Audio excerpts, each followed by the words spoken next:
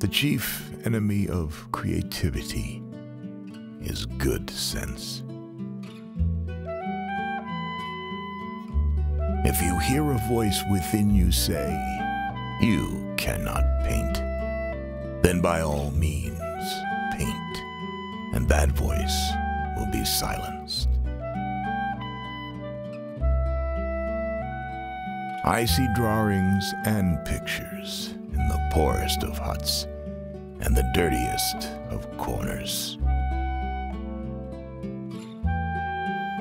If people knew how hard I worked to get my mastery, it wouldn't seem so wonderful at all. Genius is eternal patience. Every child is an artist. The problem is how to remain an artist once we grow up.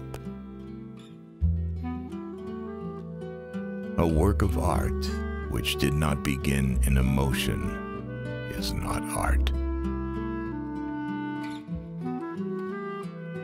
Inspiration does exist, but it must find you working.